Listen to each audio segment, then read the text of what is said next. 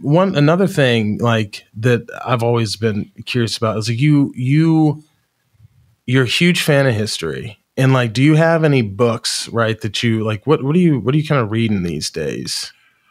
Oh man, I don't as read as much as like I got since I got the podcraft.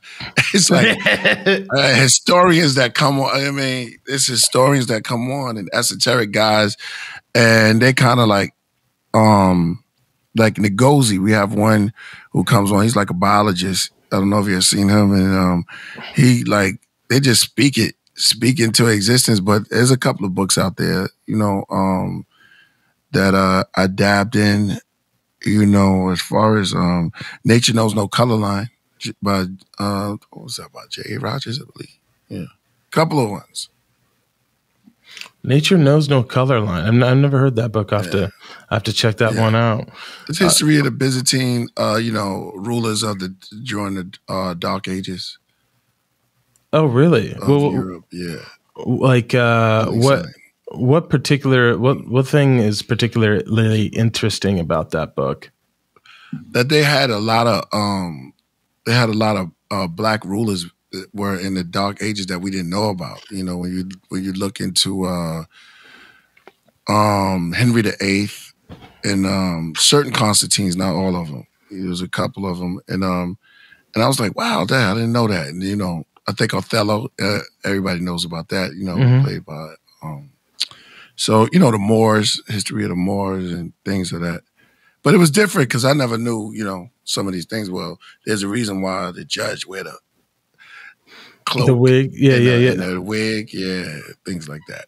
Yeah, so that it's funny you say that, man, because I'm I'm just reading this book, right? It's about mm-hmm. Egypt, mm-hmm. and there are these mm-hmm. two um, archaeologists that have made the argument, right, that Egypt mm-hmm. was actually this the the culture of it comes from sub-Saharan and Western Africa. If you look at the Sphinx, you know mm. that that that that is definitely of an African face. So it's like a lot of a lot of the history that we see today has been completely like kind of changed and whitewashed, if if you will, man. I've I've I've always found that fascinating, and you you you definitely allude to a lot of that in your lyrics. You know. Yeah, a lot of people had, it but they were infatuated with uh uh Kemet. That's what they they call it in uh Greece. Mm-hmm. You know, well they were they were very uh infatuated by it. So you know, Alexander the Alexander the Greek. That's what I call it. so he was a you know great conqueror, and he went out there and he was infatuated by it. But you know, it, it goes deeper than what he knew. You know, for what whatever they told him or whatever he learned at that moment goes deep. It's rich history that goes back thousands of years, even before that. So when you go into it, it's like, wow, this that's just the surface. And I think the world was was factionate uh, was um, you know, going crazy over it because of him. Yeah. Yeah. You know what I mean? Even though there were great empires, great, you had the Mali, you know what I mean? You had a great empires, a whole bunch. But he had a, a, a little bit of it, and it's it goes even deeper as you, as you go further. It it does go. Do you are you aware of the Songhai Empire by chance? The Songhai Empire, yeah. Yeah, definitely, with definitely. Masa, Masa, Masa, is it Masa, Masa Musa? Musa. Masa yeah, Musa, yeah, yeah. yeah, the, the the richest man on earth. I didn't know. Yes. I did not know that. Like, and correct me if I'm wrong. Right, like a lot of the slave trade started because that empire actually came crumbling down. Yeah, well, you had yeah, yeah, a lot of. I mean, that, that was they made money back then, and it, it was a lot of trading but it was done a little bit different. You know what I'm saying? Yeah, that when you go into that, you know, some of the empires was doing that back in back in the days. You know, but everybody kept their nationality.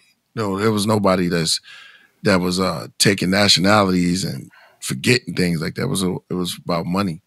Yeah. Yeah, man. Gold. All about gold. Mustard man. guns, wine, and yeah. Yeah, absolutely. Absolutely crazy, dude. Do you? Do you, you find out when you go deep into it? You find out there were people. Yes. And people were doing trades and, you know, building up. You know, they they were they were they were about money. fashion, things of that nature. Yeah, it, I, I, you know, I always found it. It's it's fucking weird that when you know we admire a lot of these conquerors and whatnot, but like if you think about it, they're all pretty like shitty people. Like they were they were all about like running up on different territories and taking that money, taking the loot, and then bringing it back. And it's it's kind of. Do you ever think it's kind of weird that we celebrate that shit? Uh, some of them. Some of them you got to watch out because the history that Europeans told, you know, could could villainize uh, um, some of the rulers. They could make them look that way. Yeah. You know what I'm saying? And actually they they create villains inside inside of some of their stories. So you have to be very careful when you're reading about um, rulers and how other people seen them and wrote about them in, instead of their own people writing about them. Because they can um, always make them look worse to make themselves look better, and they have to f- figure out a way to sneak their self into history. So you have to be very careful about uh, about certain rulers. Yeah. Have to uh, go into the history, how they said said it, and how they said, saw themselves. Yeah, no, I hear you. I hear you.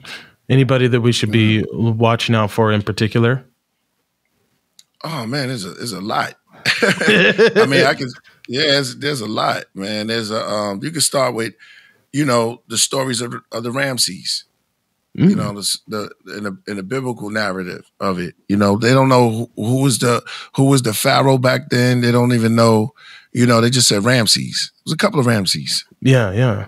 Back then, and they kind of like you know made him made him into a a bad person. Well, one of the pharaohs were, were actually good because Abraham, I think, went into uh, the pharaoh and he kind of, I think Abraham lied to him, and he he was kind of a righteous man. The Pharaoh was like, "Why did you lie to me? All you had to do is tell me the truth. Mm-hmm. I would have spared you."